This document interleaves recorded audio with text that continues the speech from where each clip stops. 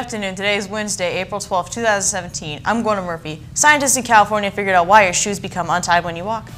And I'm Brianna Butte. Do you know what an ocean planet is? We live on one. Your CSN News starts now.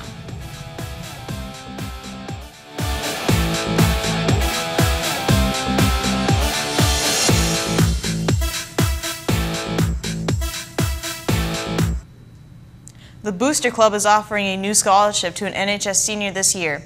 The Bulldog Pride Booster Club Scholarship is based on school involvement and not just for athletes. Applicants are asked to write a 500 to 1,000 word essay on how their activities enhance their high school experience. The due date is coming up soon on Saturday, April 15th. Applicants can be found on the NHS website, in Peach Peachstar, NHS Facebook, or just ask for one in the office. It's that time of year again. The NHS Prom Wonderlust 2017, A Dance Under the Stars, will be at Honley Farms in Eagle on Saturday from 8 to 11 p.m. Look for tickets now. Speaking of prom, if you plan to bring a guest who doesn't attend NHS, please pick up a dance guest pass at the front desk and get it turned in by no later than today by 3.30. Ladies, are you still looking for the special dream dress for prom? Or maybe you don't quite have the money to purchase one in a store? The red carpet is open every Wednesday, that's today, for you to borrow your dress. They are open from 2.30 to 6 in the Roosevelt Elementary School, uh, 1901 West Roosevelt Avenue in Nampa. Just bring your student ID and a $10 cleaning fee.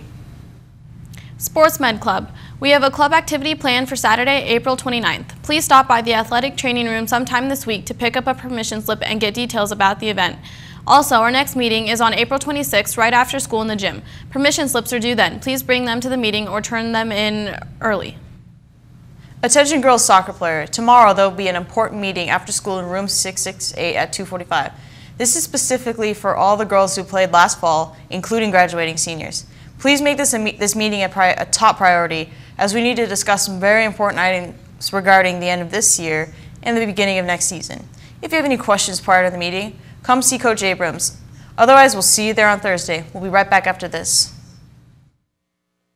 Students, in Columbia High School, music plays before class begins. As the music starts playing, you have 5 minutes till next class or WCW. When the music stops, you have about 1 minute left before the next class or WCW. After the minute is over, the tardy bell rings, and by that time you have to be in your class. If you happen to be late, you have to go to the attendance office, which is located right at the front office. Get the tardy slip, go to your class, and give the tardy slip to your teacher. Good luck and attend your classes on time. Today's weather is brought to you by Dr. Kim Keller. Smiles and first impression. Make it a good one and visit Dr. Keller today. Today's highs will have 69 with a low 48, some clouds there. And tomorrow's highs will have 59 with a low 39, some more clouds. Back to you, Brianna. Thank you, Murph. USC Berkeley, why do your oops. A team at USC Berkeley spent more than two years studying this dynamic untying, as they called it, testing different varieties of the typical bow knot in both the weak and strong configurations. Scientists walked and ran countless miles on Berkeley streets, then even more on a treadmill. With a slow motion camera, they captured and duplicated the forces that slowly break pull even the strongest knots to failure. Untied laces are not a matter of human error. It's physics, with possible future applications that might even help us understand DNA. The study concludes that impact forces loosen the knot and then the inertial force on the free ends of the laces of the swinging leg can cause complete unraveling within two strides. Today, NASA will present new discoveries about the ocean worlds in our solar system. Learning more about the ocean worlds could help in the agency's quest for life beyond Earth. The findings were gathered by researchers through the Hubble Space Telescope and the Cassini spacecraft. Cassini has been orbiting Saturn since 2004, and the mission ends this year. Earth is considered an ocean world because of those bodies of water that cover the majority of planet Earth's surface. Other ocean worlds in our solar system potentially include Jupiter's moons Europa, Ganymede, and Callisto, Saturn's moon Enceladus, uh, Mimas, and Titans, Neptune's moon Triton, and the dwarf planet Pluto. It is believed that Venus and Mars were once ocean worlds, but the greenhouse gas effect and, vul and a vulnerable atmosphere respectfully cause those planets to lose them.